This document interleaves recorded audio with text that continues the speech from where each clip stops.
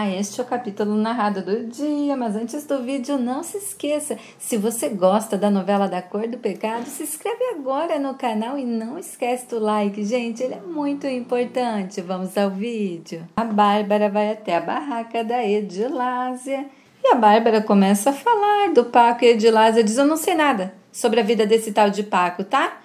E a Bárbara diz: opa, a senhora é boa atriz, né? E a diz: como assim? Eu não, não estou entendendo as coisas que você está falando. Eu tenho que arrumar minha barraca, me dá licença que eu não tenho tempo para perder. E a Bárbara diz: olha, eu acho que a senhora representa muito bem, só que eu vi a sua mão tremer quando eu falei o nome do Paco, o seu olhar também mudou. A senhora teve que guardar esse segredo durante muitos e muitos anos, não é, dona Edilásia? Né? E a Edilásia tenta disfarçar e diz que segredo é esse, hein, do que você está falando? E a Bárbara diz, a senhora é a mãe do Paco, não é? A senhora é a mãe do Paco, vai, fala para mim, fala. A senhora é a verdadeira mãe do Paco, fala para mim. E a Edilásia diz, que história é essa de Paco? Que mané Paco, que é? E a Bárbara diz: Ô, oh, dona Edilásia, calma, não precisa ficar assim tão nervosa.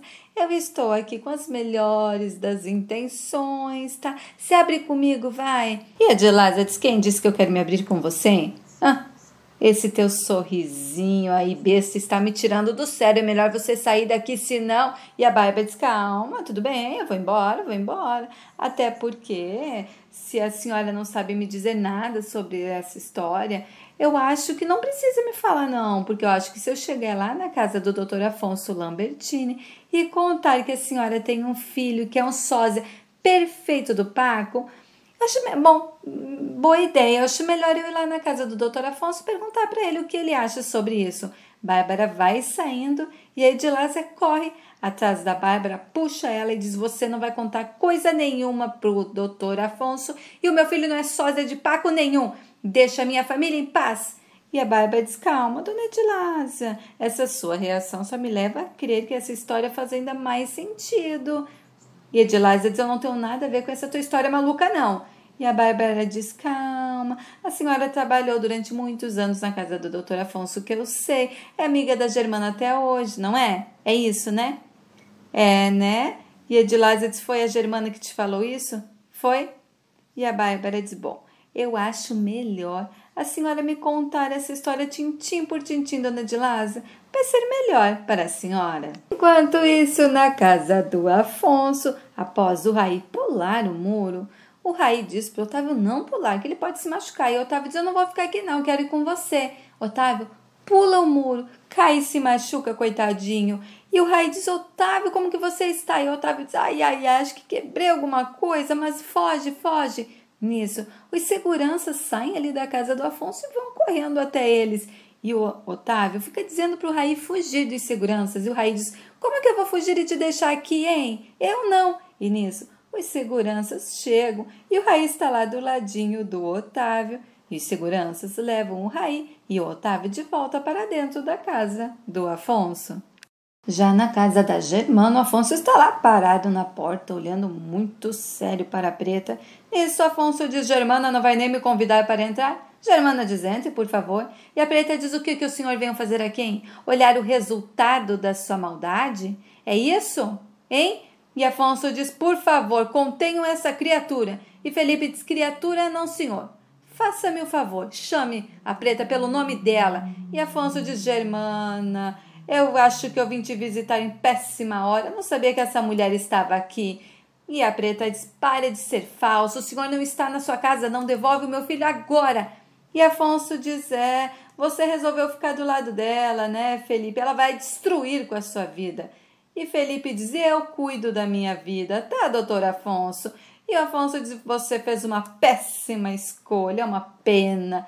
E Preta dispara de se meter onde não foi chamado, seu bandido. Ainda tem cara de pau de dar opinião na vida dos outros. E a porcaria da tua vida, hein?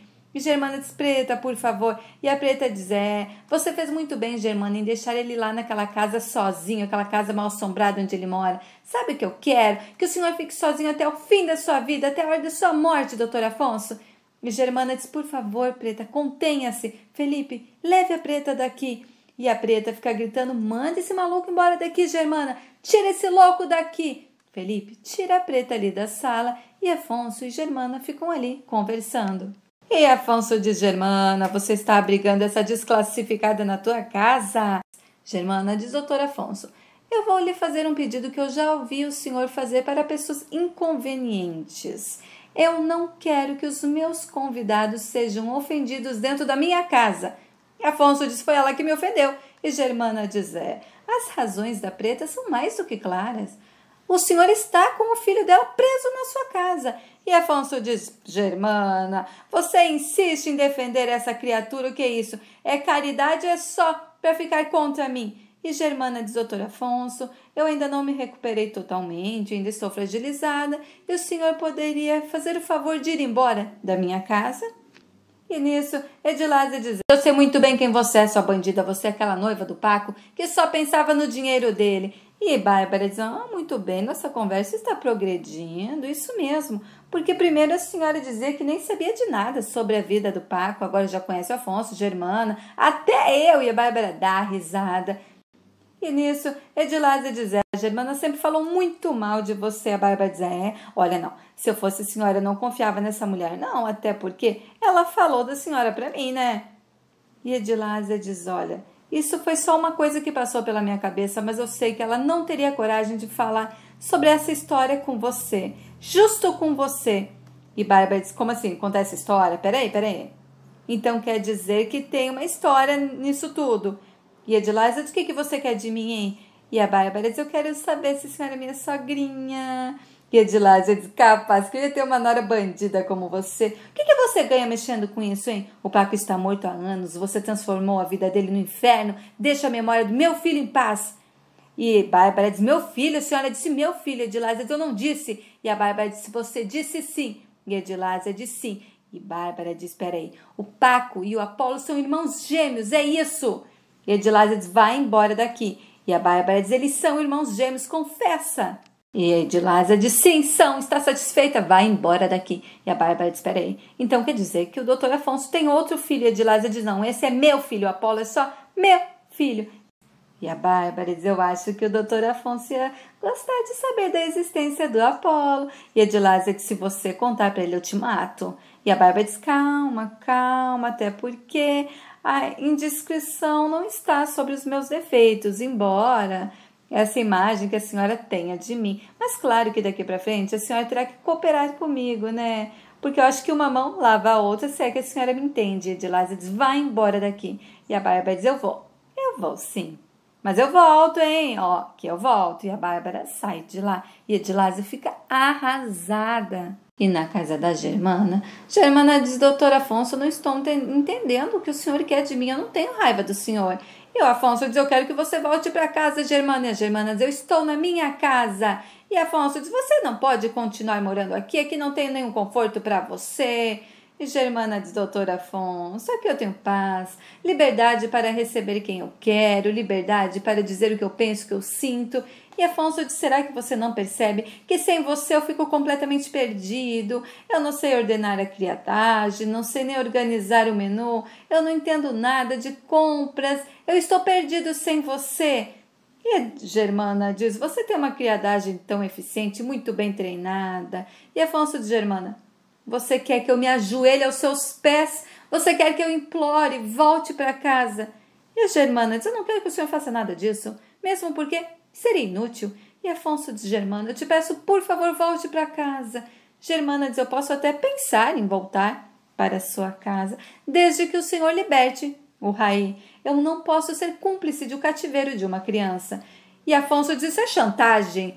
E Germana diz: é a minha condição de voltar para trabalhar na sua casa. E Afonso diz: Pois muito bem, Germana, eu não tenho mais nada para lhe falar. Mas se por acaso você recuperar a sua lucidez, a senhora sabe muito bem onde me encontrar, sabe onde é a minha casa, e eu estarei lá, esperando por você.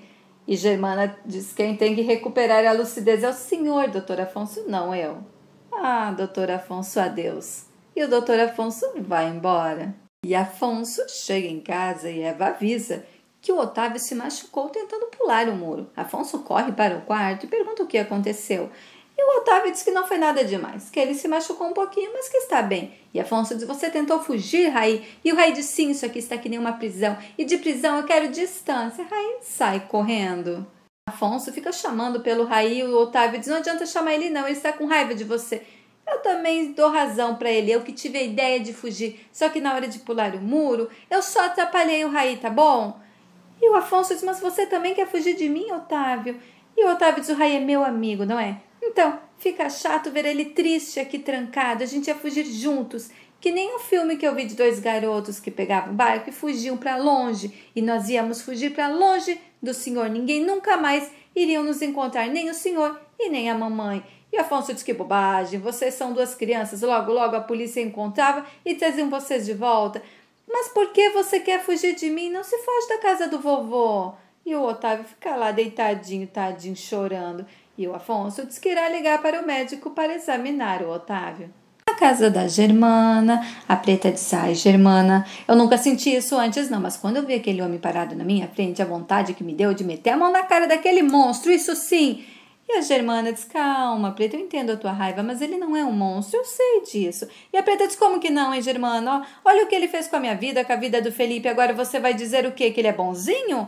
E Germana diz: Não é tão simples assim, Preta.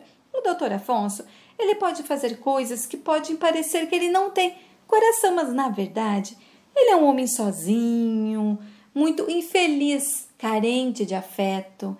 Ele é temido, ele é respeitado, mas ele não é amado. E ele sabe disso. E a Preta diz: Olha, o Raí adorava ele, hein? E a Germana diz: Eu sei, Preta, mas quem não tem experiência com afeto não sabe lidar com amor. Ele ficou maravilhado, atrapalhado com a amizade do Raí. Ficou com medo de perder o Raí, entende? Bom, ele perdeu a lucidez, ele entrou em pânico, preta, com medo de perder o amor e o carinho do Raí, de perder a companhia do neto. Você entende? Ele se sentiu acuado e fez tudo errado. E a Preta então, ele é maluco. Isso sim, quem faz isso é louco. E Germana diz, ele não é louco, Preta. Ele faz as coisas assim, mas ele vai recuperar a lucidez. E Felipe diz assim: Olha, nunca pensou em se casar com o doutor Afonso? E Germana diz: Ah, Felipe. E Felipe diz: É, você parece que conhece a alma dele, compreende cada atitude dele. Isso é coisa de quem ama Germana. E Germana diz: Não tem menor cabimento isso, Felipe. E a preta diz: É, não tem menor cabimento uma mulher maravilhosa com o coração da Germana casar com um desalmado daqueles, eu, hein? E nisso, preta e Felipe se despedem da Germana e vão embora. E a bruxa da Bárbara chega na casa do Afonso e diz o que, que aquele mulatinho fez com meu filho dessa vez, hein? Que ele se machucou, hein? E Afonso diz: Calma, Bárbara, contenha-se, não chame o Raí assim. Tá, o Otávio se machucou, como qualquer criança se machuca brincando com outra criança. Nada demais e não foi nada grave, mas me responda, Bárbara, com toda sinceridade. O que você acha de mim? Você acha que eu sou um homem cruel?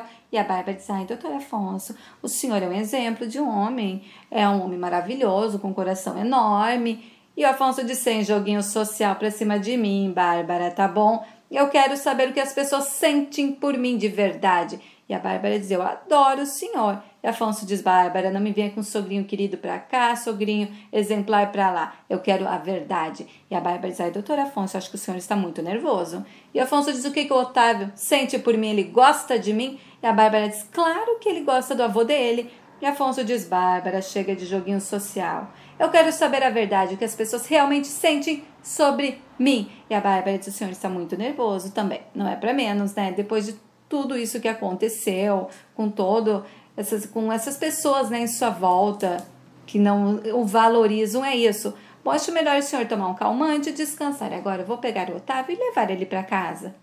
Na casa da Moa, o Sal está arrasado e conversando com a Moa e com o Paco, e diz que a Kika está lá naquela clínica que estão dando medicamentos fortes para ela, que ela vai acabar ficando louca de verdade. E ele precisa fazer alguma coisa para tirar a Kika de lá. E a diz que não tem o que fazer. Nisso a Moa sai e o Paco e o Sal ficam conversando. E o Sal diz a Paula: Eu tenho que te pedir uma parada aí, mas eu quero que fique entre a gente. Eu preciso de um dinheiro, só que eu não posso te falar para que que é, mas eu vou te devolver. O Paco empresta o dinheiro para o Sal e diz que não é para ele se preocupar em devolver o dinheiro. Na casa do Afonso, a Bárbara chega no quarto e diz: Vamos, Otávio. O Otávio diz: Eu quero ficar. E a Bárbara diz: Não, eu não vou deixar você aqui à mercê daquele mulatinho. Ele é perigoso, aquele pivete. E o Otávio diz: Não fala assim dele, ele é meu amigo e ele não teve culpa nenhuma que eu me machuquei, tá bom? E marginal é aquele Tony com quem você se casou. Isso sim, gente, esse Otávio é uma gracinha, né? E o Afonso diz: Bárbara, deixa ele aqui, não fale assim do Raí. Deixa o Otávio aqui me fazer companhia. Estou me sentindo só. Será bom ele ficar? E a Bárbara diz: Não. O senhor preferiu ficar do lado daquele, daquela gentinha e renegou a sua família. O Otávio só vai voltar aqui quando aquele pivete não estiver mais aqui. Nisso, a Bárbara leva o Otávio praticamente arrastando da casa do Afonso. E o Afonso fica lá arrasado. Nisso, o Raí está ali na porta, olha para o Afonso. O Afonso chama o Raí, o Raí sai correndo e o Afonso fica lá chorando. E na casa da Edilásia, Edilásia chega e o Tori Dionísio pedem a chave do quarto da Abelardo para tirarem ele das garras da Tina. Nisso eles entram no quarto, Abelardo está lá no chão pedindo por favor que eles protejam ele da Tina. E a Tina diz que aconteceu entre eles o melhor e o Abelardo deu conta do recado. Nisso, Tori e Dionísio pedem que Tina seja expulsa de casa e Edilásia diz que a Tina fica.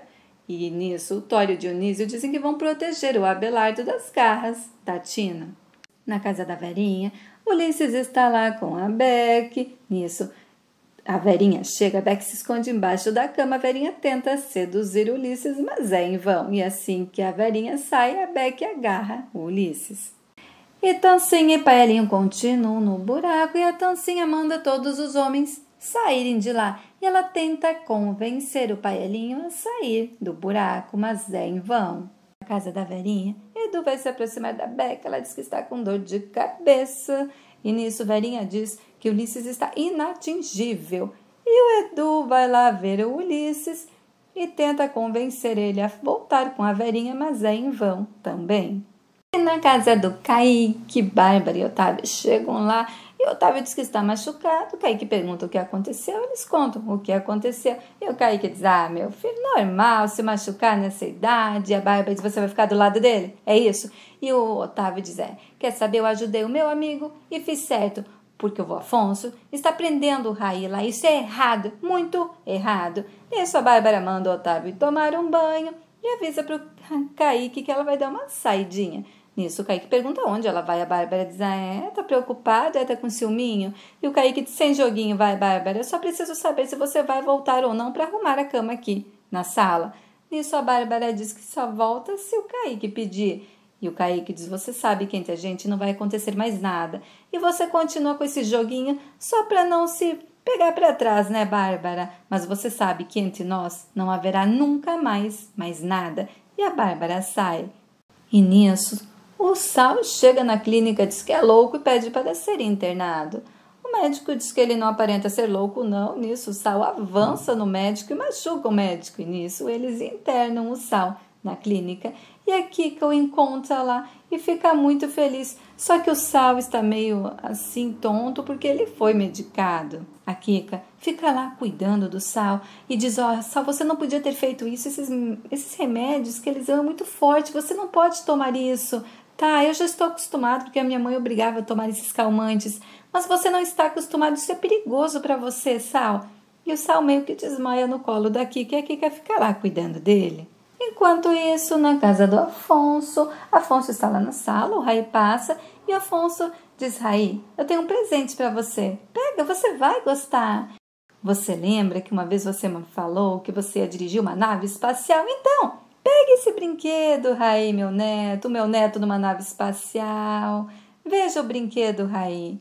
Então, você pode começar a treinar com esse brinquedo, Raí, veja. E o Raí nem olha para o Afonso, nem olha para o brinquedo também. Nisso, Afonso abre o brinquedo, pega, entrega assim na mãozinha do Raí a nave espacial. O Raí olha, pega aquele brinquedo e joga longe e diz: Eu não quero nada seu, nada. Você está pensando o que, que pode comprar a gente? Não pode, não, Afonso. Eu gostava de você, eu achava que você era o meu amigo, mas agora eu te odeio, eu te odeio.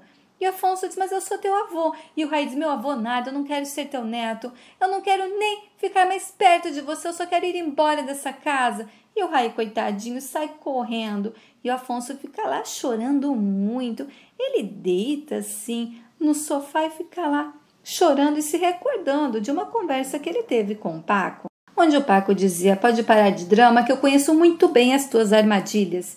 E o Afonso diz: Não é armadilha, não. Eu te amo, meu filho. Eu sinto falta da sua companhia. E o Paco diz: Vai continuar sentindo falta da minha companhia, porque de agora em diante eu quero o senhor longe de mim, longe da minha vida, longe do meu trabalho. Saia da minha vida. Afonso fica lá chorando, jogado no chão, chorando muito, enquanto Edilásia e Germana estão conversando. E Edilásia diz: É, porque você saiu da casa do Afonso, achei que você ia trabalhar lá até morrer. O que aconteceu? E Germana diz: É, se eu continuasse trabalhando naquela casa, por maior que fosse a estima que eu tinha por ele, eu ia acabar morrendo lá. E Edilásia diz ainda que você abriu os olhos, hein? Porque ele não presta um sanguessuga. Isso sim. E a Germana diz: Não é bem assim, Edilásia. Acho que essa condição nem é definitiva. E Edilásia diz: Você não está pensando em voltar a trabalhar lá, né? E a Germana diz: A minha vida está naquela casa, Edilásia. E Edilásia diz: Pelo contrário, agora que a sua vida irá começar. E Germana diz: É, Edilásia, você chegou visivelmente tensa, ficou enrolando, enrolando. O que aconteceu, hein? Qual o assunto que te trouxe aqui? E a Edilásia diz uma coisa muito grave. A noiva do Paco, aquela loira má, apareceu lá no trailer. E a Germana diz a Bárbara, e a Edilásia diz ela. Sabe, Germana, eu fiquei tanto tempo na minha casa, nos meus filhos, no meu trailer, que eu esqueci como existe gente ruim nesse mundo. E Germana diz, como que ela te encontrou? E Edilásia diz: Não sei, deve ser alguém que conheceu Paco, encontrou Apolo e contou para ela. Não foi você, não, né? Germana diz: Claro que não, Edilásia. Você acha que eu ia contar alguma coisa justamente para aquela lá? E Edilásia diz: Sabe que ela me ameaçou? Que se eu não contasse o que eu tinha de a ver com o Paco, ela contaria sobre o Apolo pro Afonso. E a Germana diz: Você contou para ela tudo? Edilásia diz: Eu tive que contar, porque senão ela ia contar tudo pro Afonso e Afonso ia descobrir o meu Apolo. E Germana dizia, Edilásia, ela te enrolou direitinho e você caiu como um pato. E Edilásia dizia, eu como assim? E Germana dizia, Edilásia, a Bárbara não tem o menor interesse em que o doutor Afonso fique sabendo que tem um outro filho. Por que, que ela iria contar sobre o Apolo para ele? Ela iria ter que dividir a herança. Você não vê que ela vive perseguindo a preta e o Raí por causa do dinheiro? E Edilásia diz, então quer dizer que ela jogou verde para colher maduro, aquela desgraçada. E Germana diz, não se culpe por isso. Até o doutor Afonso cai nos golpes dela. Imagina você que é uma pessoa pura, de bom coração. E Edilásia fica arrasada e diz, mas e se for algum motivo, se por acaso ela resolver trazer toda essa história à tona? Hein? Eu tenho muito medo dela. Vai ser muito difícil, mas não dá mais para o Apolo ficar aqui na cidade, primeiro a preta, agora essa loira má, a vida do Paco está se cruzando com o do Apolo e isso não pode acontecer. E na casa da Bárbara, a Bárbara chega lá e o Tony diz: aí, conseguiu descobrir? E a Bárbara diz: ah, foi mais fácil do que tirar doce de crianças. Aquela mulher é burra. Ela contou tudo. E nisso, o Tony diz: então, coração, se o Afonso descobrir que esse tal de Apolo existe, ele herdará metade da fortuna do Afonso, a outra metade ficará para Otávio, caso Afonso não adote um mulatinho. Mas como ele vai adotar, o Otávio ficará apenas com meio da metade. Mas como você terá que dividir tudo comigo, você ficará apenas com um quarto de toda a herança do Afonso. Que crueldade, não é, coração? Você que achava que ia ficar com toda a herança do Afonso, não é? E a Bárbara diz: não, isso não pode acontecer. E o Tony diz: então temos que tomar atitudes, porque o Afonso nunca poderá encontrar esse Apolo. E a Bárbara diz: não, não, você não vai fazer nada com Apolo, não, já não basta o que você fez com o Dodô. O Apolo, você não vai fazer nada com ele. Nada, entendeu, Tony? Já na casa do Afonso, ele está lá jogado no chão, chorando muito. Nisso, Eva chega e pergunta o que aconteceu e se o Afonso quer que ela chame alguém. Afonso diz: soma daqui, vai embora daqui expulsa Eva da sala. Nisso, o Raí chega ali devagarzinho e diz: Levanta daí, vai, Afonso. Não fica nem bem para um homem já grande assim como você, vai. Levanta. E Afonso diz: Raí, Raí, você me odeia? É isso? Você me odeia, Raí? Paco. E nisso, Afonso fica chamando o Raí de Paco, de Raí, e pergunta se o Raí tem ódio dele. E o Raí diz: Olha, Afonso, eu não sei bem direito essa história de ter ódio ou de não ter, mas eu estou com raiva sim de você, tenho raiva de ficar aqui preso. E Afonso chorando no chão diz: Eu faço tudo errado, tudo errado. E o Rai diz: Tudo não, né, Afonso, mas isso, né, de chamar a minha mãe de ladra, de pôr ela presa, Afonso, e me prender aqui, isso sim foi muito errado, Afonso. Você foi a única amizade verdadeira que eu tive, desinteressada, Raí, única. Eu estraguei tudo, joguei tudo fora, sua amizade. E o Raí diz: Ó, Afonso, levanta daí, vai. Raí vai até o Afonso, estende a mãozinha, diz: segura minha mão e levanta daí, porque fica esquisito você aí jogado no chão, tá? O Afonso se levanta, olha para o Raí e diz: Você me odeia? E o Raí diz: Olha, eu ainda gosto de você, estou com raiva, sim, mas eu ainda gosto de você, um pouco, mas eu gosto. E o Afonso abraça forte o Raí e diz: Você ainda gosta de mim, Raí? Gosta, né? E o Raí diz: Sim, mas olha, Afonso, essa história de gostar dos outros não acaba assim de repente, né? Bom, eu gosto de você. Mesmo quando a gente sente raiva, muita raiva da pessoa, igual eu estou sentindo de você agora. E Afonso diz: Você me perdoa, Raí? Me perdoa? E Raí diz: Ah, não, Afonso, agora você virou mais criança do que eu, hein? E Afonso diz: Eu acho que é isso mesmo, Raí. Eu acho que é exatamente isso que aconteceu. Eu acho que, de certa forma, você é muito mais adulto do que eu. E o Raí diz: ah, também não exagera, né, Afonso? Eu sou criança. É, não tenho nem barba ainda. Afonso faz carinho assim no rostinho do diz: É, realmente ainda não tem barba. E o Raí diz: Você podia deixar de ser cabeça dura e deixar eu voltar para casa da minha mãe. Eu sinto saudade dela, Afonso. Me deixa aí, vai. Hein, Afonso? Me leva de volta para minha mãe. Eu estou te pedindo direito, Afonso. Me deixa ir para perto da minha mãe, Afonso. E Afonso ficou olhando para o Raí. E o Raí diz: Por favor, Afonso, por favor. Na casa da Edilásia, Edilásia está lá arrasada. O Paco chega e diz: A senhora mandou me chamar. E a Edilásia diz: Eu nunca imaginei que eu ia pedir isso para um filho meu, mas vai ser para o bem, para o teu bem, para o bem da nossa família. Você precisa ir embora dessa cidade. Enquanto isso, na casa da preta, ela está lá arrasada, abraçada no Felipe, chorando muito, dizendo que não está mais aguentando ficar longe do Raí. Nisso toca a campainha, Felipe vai abrir a porta e a Germana ali, que chega sorrindo e diz: Preta, eu te trouxe uma surpresa. A preta olha assim, chorando, e nisso Raí chega ali na porta, coisa mais bonitinha corre e pula no colo da preta, abraça forte a preta. E a preta diz: Que saudade, meu filho, de você. Que saudades que eu estava de você. Isso Afonso chega e fica olhando sério ali para a preta, que fica grudadinha no Raí. E a preta fica muito emocionada ali, grudadinha no Raí, que está ali abraçadinho. E a preta diz que estava com muita, muitas saudades do Raí. E o Afonso diz: Raí, eu já vou indo. E o Raí diz: Afonso, Fica mais um pouco, vai. Afonso olha para o Raí, sorri e vai embora. E a Germana vai atrás do, do Afonso. E esse foi o capítulo narrado do dia, hein? Que vocês acharam? A novela está maravilhosa. O Afonso caiu em si e levou o Raí de volta para a Preta. Escreve aí nos comentários o que, que vocês acharam. E não esqueça, se estiver gostando do conteúdo do canal, clica no botãozinho vermelho aqui embaixo de se inscrever, se inscreva no canal e não esquece do like. Muito obrigada e fiquem com Deus.